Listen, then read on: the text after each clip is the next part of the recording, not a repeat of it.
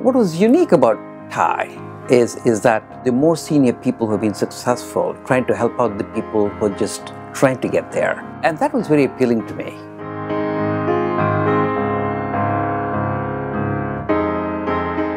It was 1973 is when I left India and came to Canada. And then I was there till 84 and then went to Boston in 1984. And then somehow I got into entrepreneurship and built a company from 1990 to 97 or so. And at that point, it wasn't that common for people to be entrepreneurs. The exciting part of being an entrepreneur is, is not just for yourself, but everybody else that's with you. Suddenly realizing things that they never knew they could do before because you get thrown into all kinds of things.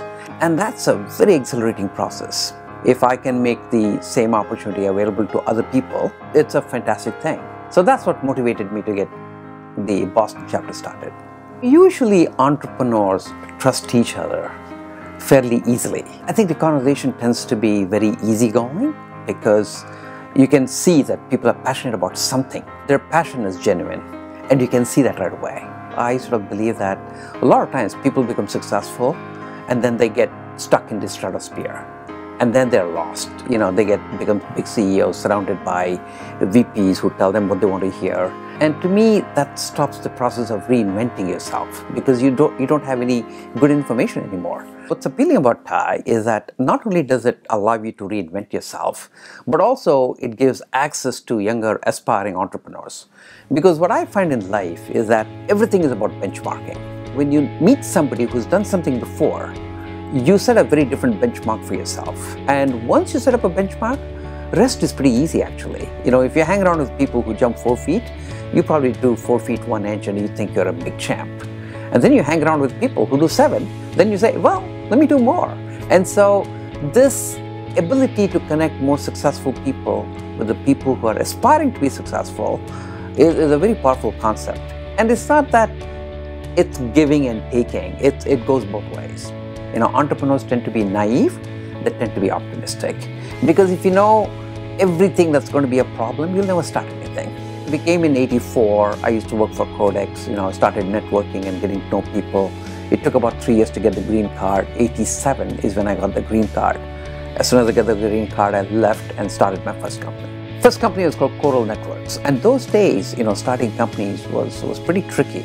You had to go without a salary at least for a year because the venture capitalists would have a fund of maybe $20 million. So for them to give you a million dollars, they wanted to make sure that you're committed, which meant you mortgaged your house, your wife, your kids, and everything else. And so my wife kept her job. I quit my job. We had two little kids, and and it took about a year. But dream come true at the end of the year. We were able to raise $3 million, which was just amazing. So I got on the payroll, and my wife got off the payroll, right? But unfortunately, within about four months into it, I and my partner had a difference of opinion. And then I had to leave. And so that was not an easy time in our life because I didn't have a job, my wife didn't have a job, we had two little kids, and most of the other people who had the kind of education that I had, who were senior executives in Fortune 500 companies, you know, they were all doing really well. But it never bothered me. And then it took about another six months to regroup and then started a company called Cascade Communications, which was pretty successful. I think entrepreneurship in general has become a mainstream thing. A lot of people are into it. I, I can look back 84, moved to Boston and trying to look for an entrepreneur, and you couldn't even spot one. But now they're everywhere. And what's exciting for me is now extending the same power of that innovation entrepreneurship to dollar a day people. And that's where I'm focusing most of my life now. The journey for the last 15 years has been pretty exciting. I, I turned 50 15 years ago, 2000, and I'd been an entrepreneur CEO for about 20 years. And so I and my wife decided that maybe it's time to do something else. So we started working on the foundation quite a bit. Now we're pretty much full time on the foundation. The core idea behind the foundation is that there are three types of people in this world. There are people who are oblivious to everything. There are people who perceive problems and suffer problems but choose to complain about it.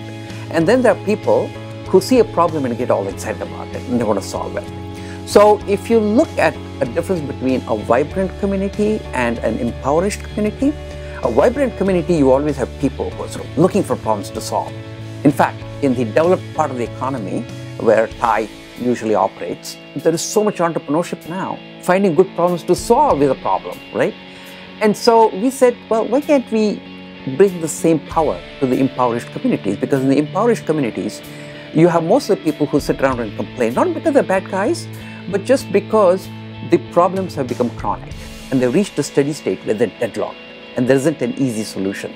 But if you can get some of them to start thinking about solving a problem, they get so feverish about the whole thing that they, you can't sleep, right? You just keep thinking again and again and again. And finally, you find a solution. And when you crack that code, that's the aha moment. That's the moment when somebody becomes an active person as opposed to a passive sufferer in life. And that transformation is what we've been working on. You know, the biggest contribution I think you can make to the world is not to solve anybody's problems, but to get them excited about solving problems. There's 7 billion people.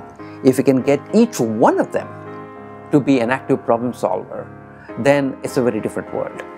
And there's no problem that's hard enough for us to solve if everybody gets engaged. So what happens to our kids? I mean, they have to reinvent the world for themselves because none of this thing can be just handed over to somebody else. You know, ultimately, I think doing simple things in life and, and all the good things that people talk about, you do them not because somebody else tells you, because it's the best way to be. I really enjoy reinventing myself. You know, the biggest blessing anybody can have in life is to be able to get up in the morning and be excited about the day. You know, a lot of the people get stuck into some, some something that they've done before. They don't like it anymore, but they're stuck.